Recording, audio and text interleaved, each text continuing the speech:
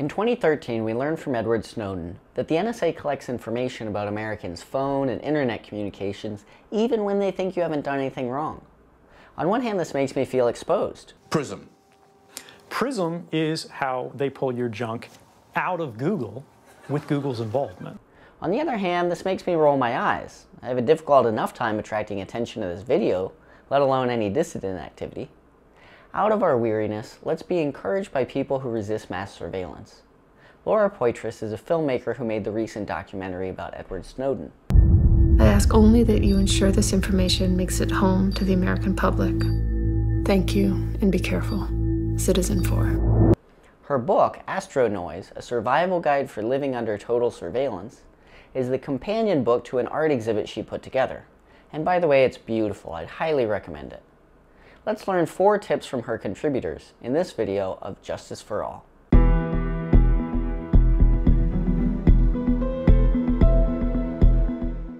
First, use encryption. It's kind of obvious, but if governments are going to try to surveil you, make it difficult for them by using encryption.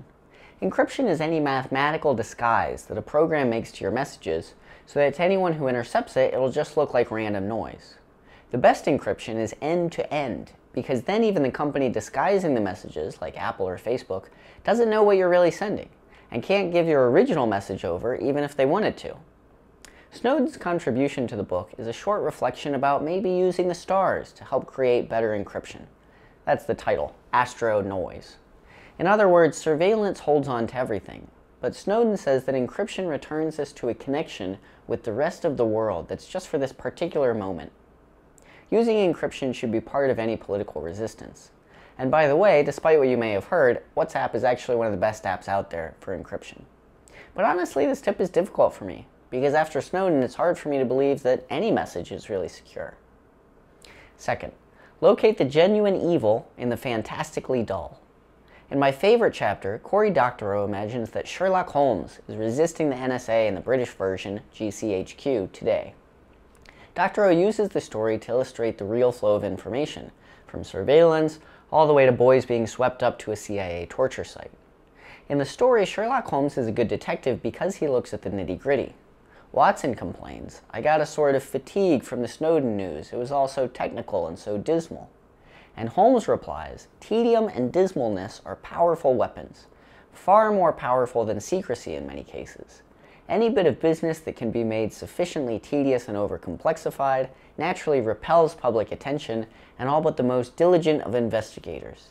If you want to do something genuinely evil, it is best for you that it also be fantastically dull. Think of an issue that you're really familiar with. Trump care, climate change, whatever. What are ways that genuine evil is located in the fantastically dull? Who will translate that convincingly to others? Third, be a model citizen by dissenting. Laura Poitras, the editor of the book, built her resistance chops by making documentaries about America's response to 9-11. As thanks for her effort, she was put on a secret selectee list of people to hassle when they fly. So between 2006 and 2012, she was detained and questioned more than 40 times without explanation. Eventually, she moved to Berlin to be safe. On a personal note, a friend of mine from high school who leads union activism in Jacksonville has been surveilled by the Jacksonville police and is now facing a trumped-up felony charge.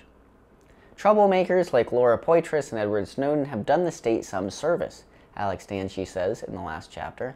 Dissenters are model citizens. What's new to me about this tip isn't that dissenting is positive, it's that people can have a citizen identity that's important to them. People like Snowden and Poitras develop their citizen identity when they dissent, just like I develop my husband and employee identities when I clean the dishes and help other people in the office, respectively. For anyone watching this, how much do you see yourself having a citizen identity? How much do you dissent to be a model citizen? Finally, speak your own narrative. Jacob Appelbaum's contribution is written as a letter to future children.